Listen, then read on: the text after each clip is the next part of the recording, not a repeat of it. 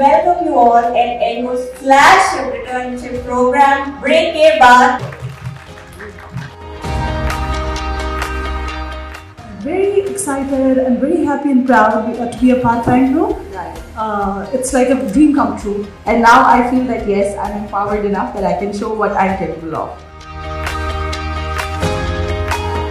We would like to call our Chief People Officer, Rizwan Masood Raja. Welcome to Uh, Bar program. We saw there are a lot of young women who uh, start working, they leave the organizations because of the changes in their family circumstances. My daughter was born during COVID, and because of COVID, uh, my father passed away.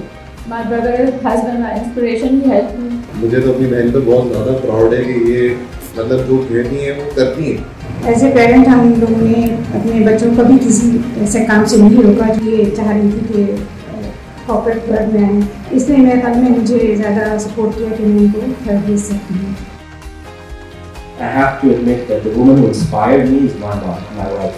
It was very taxing, very difficult because you can just imagine most of you, you know, coming from after break. In my life, my husband took a break. So we switched our roles. I was working and he wasn't working. He was, and we faced so much criticism.